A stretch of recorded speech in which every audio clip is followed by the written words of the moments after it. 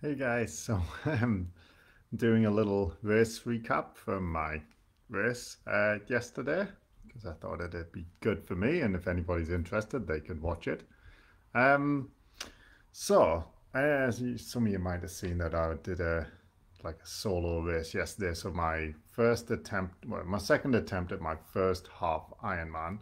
Um, and I did it around Sylvan after the Calgary half Ironman had been cancelled. Um, so it was supposed to be today, actually, that, but um, I think. Um, so that was cancelled. So decided I wanted to do the distances on my own because I've been training all year and um, I wanted to do it. So I managed to finish in six hours and 20 minutes. It actually was 619 and 44 seconds or something like that, which I was super pleased with because um, I thought it was going to be more like six and a half to seven based off my estimates for my training. So I was really happy with that.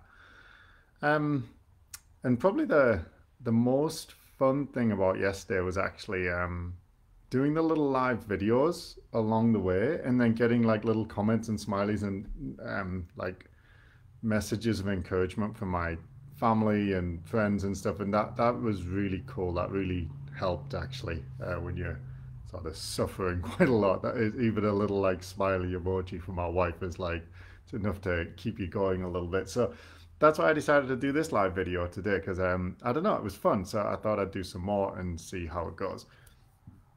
Um, so today's beer is from Troubled Monk because live video is intimidating. So this is going to make it a little bit less um, intimidating for me. There's the Pesky Pig, which is one of my favourite beers from the craft beer uh, breweries around um, around Red Deer actually. So I got a six pack of those today to reward myself for that horrendous experience yesterday. Well, it wasn't horrendous, but it was hard in in many ways. Um, and yeah, I felt pretty much hungover all day today. It's just weird because you don't feel like you deserve to feel like you're hungover, but it's like the world's worst hangover. I was trying to have a nap earlier and like my whole body was just aching. And I couldn't sleep. So yeah, that was that was grim. Anyway, the, for the race, I um I mean, I'm thinking next year I'm supposed I'm registered for the Calgary Half Ironman for next year, and I think um, I think I still will do that. It's in July, which is going to be harder because it's hot, and I don't do super well in the heat, so I'm gonna have to condition myself to the heat. And um, I, I, think I'd maybe be I'd maybe have a target of six hours for that because I did this one in six twenty, and I was um, like I don't think I could have done that much better. But I'll have another year of training. This for my first, so um, yeah, we'll see how that goes. Um, my you know some of the things that didn't go super well. Um, well, my nutrition, uh, fueling, eating is people normally call it, was super hard, like again. But I mean, I did better than previously because I have been working on it.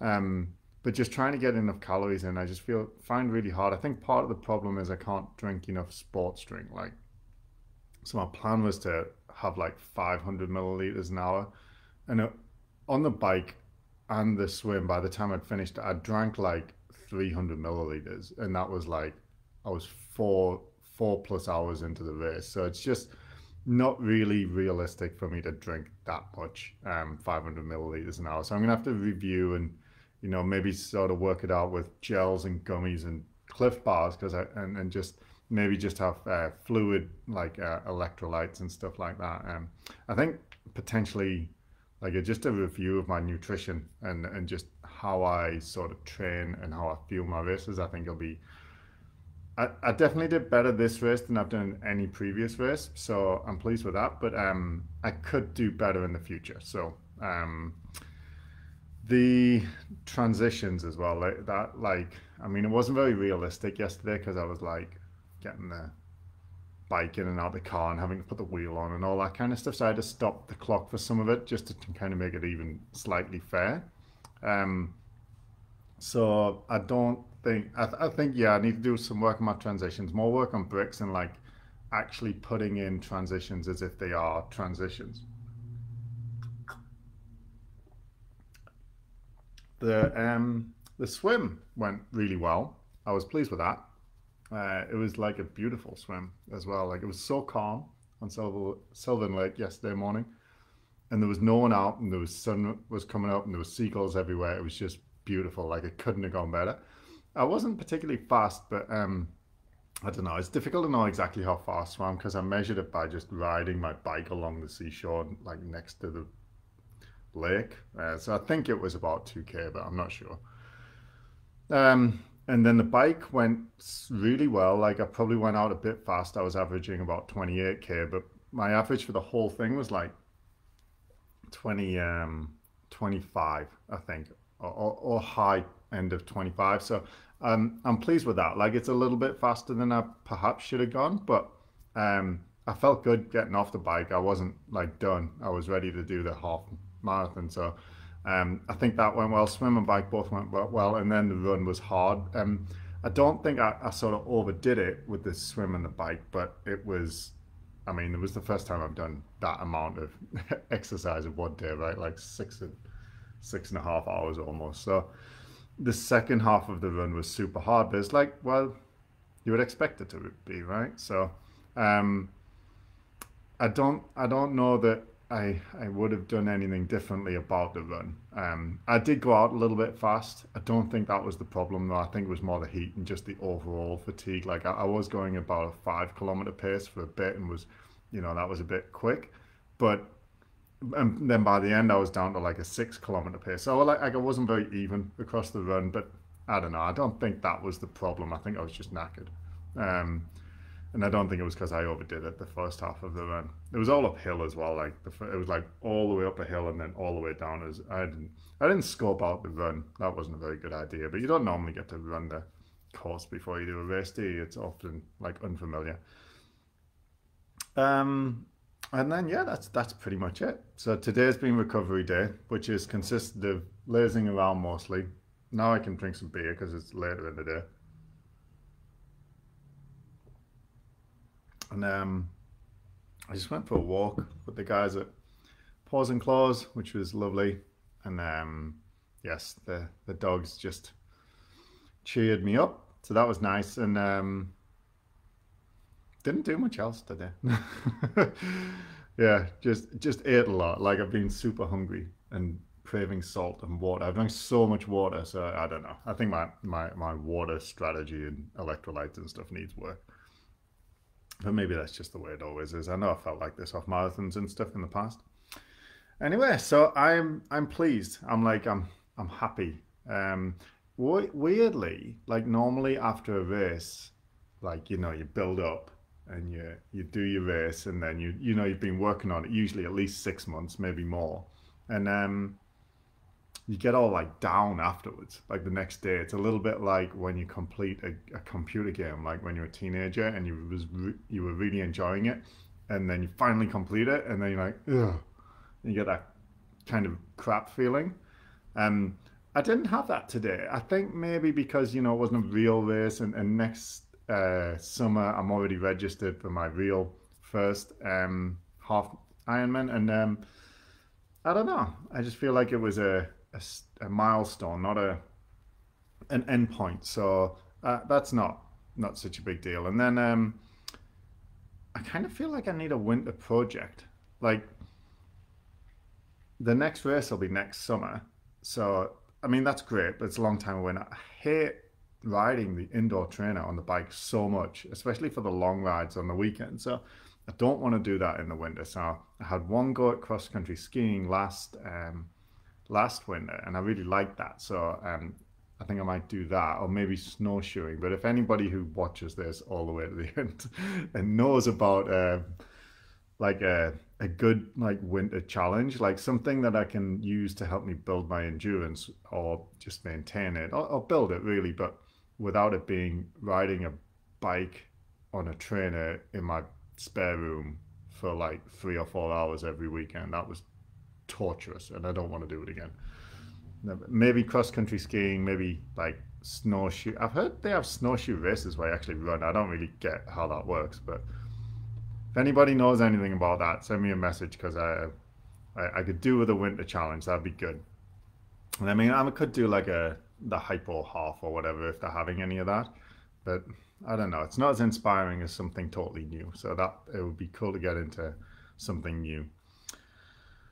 Um, but yeah, that that's about it really. Happy. Need to work on my nutrition. Most of it went very well. Um, I'm excited to do. I guess um, it was like like I said yesterday. Like I was. I feel like I'm at my fittest that I've personally ever been, and I don't at all feel like I could have done a full Ironman yesterday. So, um, like part of me, like my ego wants to be like, I'll just, yeah, I'll just, I'll just up that registration for the full one, but it's like, I don't know, it kind of feels like a bigger, bigger multi-year project. And I know I've talked to some people who do, you know, in their first year in triathlon go for the Ironman, and it's like, that's awesome, but I don't feel like I'm one of them.